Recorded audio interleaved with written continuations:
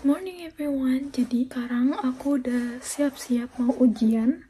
Jadwalku itu BTW jam 9.30 dan sekarang itu jam 8 lewat 15. Dan aku udah habis catat-catat semua tadi. Aku bakal liatin ke kalian. Jadi aku kalau belajar itu tipikal yang mencatat.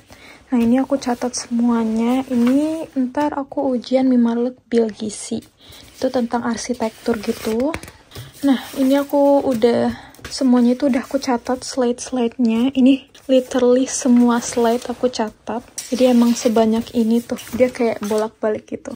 Terus udah aku selesai catat. Terus aku translate dan aku pahami. Baru deh aku kasih tanda-tanda warna pink gini untuk dihafal gitu. Jadi aku tipikal yang kalau ngafal itu nggak kayak ngafal eh ini satu ini dua. Tapi aku menghafalnya itu kayak dari ngelihat gitu loh melihat sering-sering dilihat jadi kayak langsung terhafal sama aku walaupun aku nggak ngafal gitu. Terus sudah deh dan ini kalau yang ini tuh aku catat doang. Ini untuk besoknya jadwal besok ini tentang Peizas Muhendis 2 gitu. Jadi ini ntar besok aku bakalan ujianin juga dan yep, sekarang BTW udah jam 8.16, nanti jam 8.30 bus aku mau nyampe. Dan aku belum selesai beresin tempat tidur gara-gara ada mocil di atas ini, jadi aku nggak tega gitu. Soalnya mocil sekarang lagi bila, birahi guys, jadi agak ribut, bukan agak lagi, ribut banget kalau malam itu. Dan aku belum buka ini juga di luar itu lumayan panas kayaknya. Aku bakalan bawa ini semuanya. Sebelum berangkat aku pakai parfum dulu terus tadi pas lagi sahur itu kayak mager banget untuk bangun. Kayak aku berencana untuk nggak sahur tapi kayak nggak boleh nih aku harus sahur. Soalnya takutnya ntar nggak nggak kuat nantinya. Sudah deh langsung aja aku mau beresin ini dulu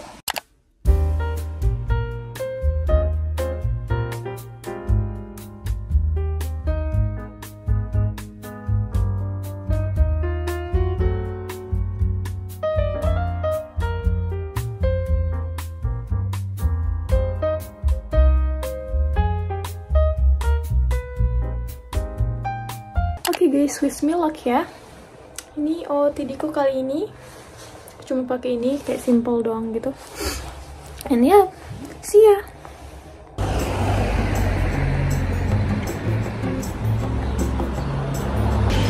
Kalian jangan terkecoh sama mataharinya, soalnya ini nggak sama sekali panas guys. Ini tuh kayak dingin banget sampai berasap gitu. Ini kayaknya berapa derajat? 6 derajatan kali. Ini tuh dingin banget literally. Panasnya itu nggak kerasa sama sekali. Terus aku sekarang lagi nunggu bus. Aku takut telat jadi 5 menit sebelumnya itu aku udah di sini. Soalnya ntar biasanya tuh busnya tuh lebih bisa lebih cepat bisa juga lebih lama. Jadi dan aku rasa ntar kayak siangan gitu bakalan lebih hangat jadi aku nggak terlalu pakai pakaian yang terlalu tebel gitu. Hai guys jadi aku udah sampai di rumah. Tadi aku habis tidur siang tapi aku nggak bisa tidur gitu. Nggak tahu kenapa cuman tidur ayam doang. Terus sekarang aku lagi belajar dari hari minggu gitu. Dari hari minggu. Dan tadi aku selesai catat PPT yang terakhir kalau kalian buat kayak gini tuh bakalan ada rasa puas gitu loh.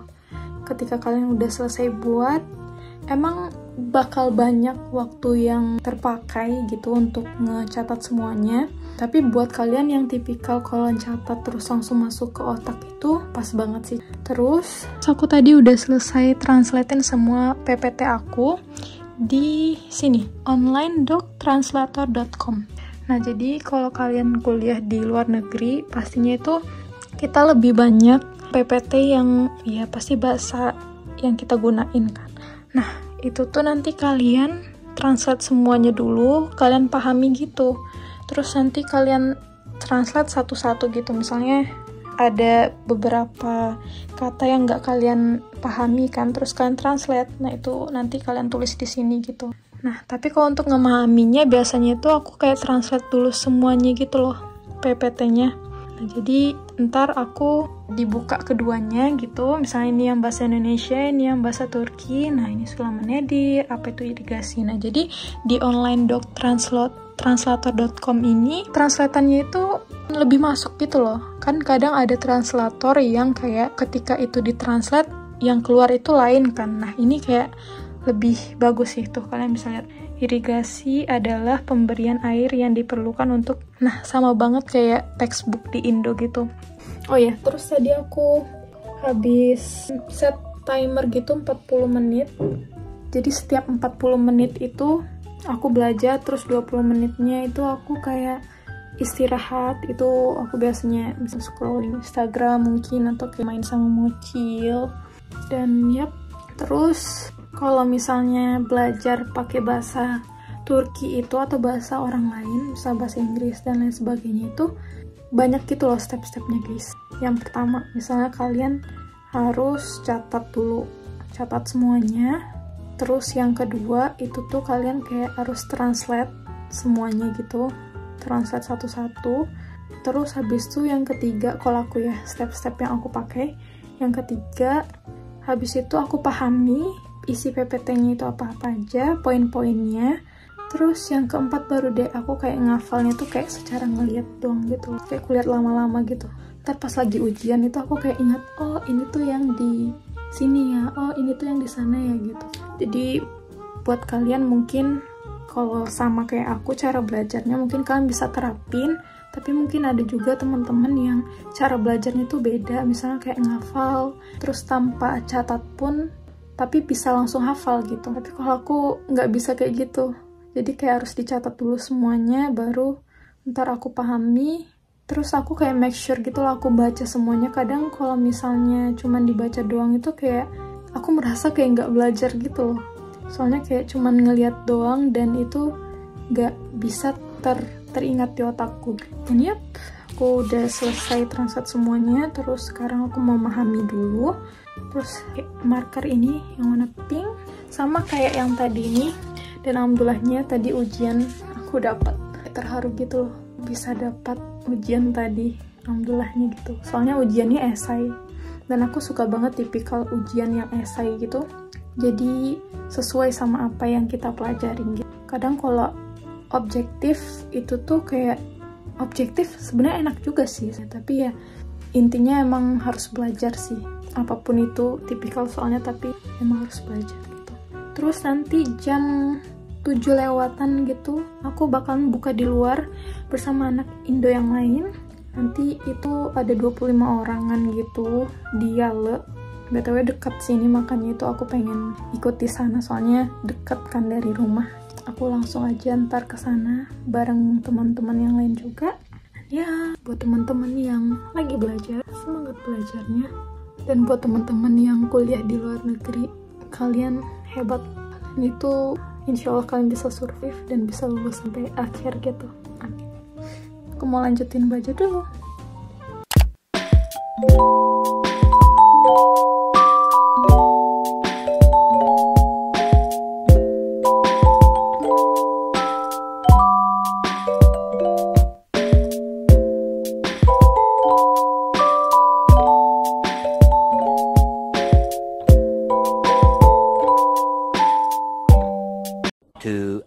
hours later. Oke okay guys, jadi sekarang aku mau pergi dulu ke tempat bukbernya dan ini hujan. Ya Allah, ini hujan banget, deras, lumayan. Jadi aku pakai payung. Terus ini aku bakalan jalan ke Yale dan mungkin 20 menitan lagi bakalan buka. Kita cepat pergi ke sana. Alright guys, aku udah sampai di rumah. Terus sekarang itu udah jam 23.50 dan sekarang itu aku kayak lagi buat leke puff tas aku.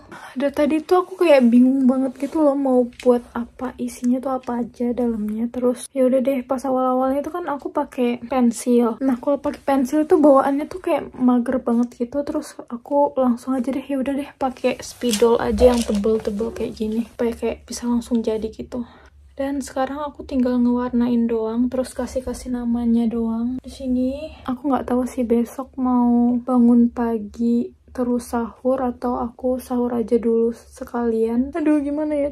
Makeupku aja belum kehapus. Belum bersih-bersih juga. Dan Mocil seperti biasa dia selalu tidur di Faftaku sebenarnya nggak besok dikumpulnya. Jadi besok itu aku doang minta kritik sama ojaku dan besok itu ujiannya itu jam setengah sepuluh pagi. Dan untung aja aku kayak udah selesai ngecatatnya tinggal memahami doang sama kayak ngafalin dikit-dikit kayak lihat-lihat baca-baca doang gitu.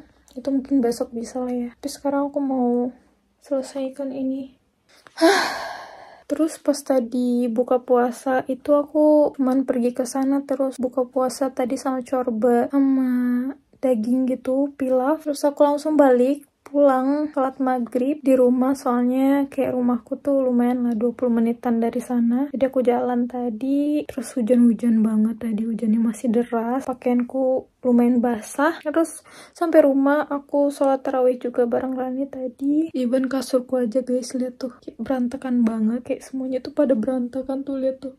Tuh lihat tuh di sana. Oke okay, selesai ini dulu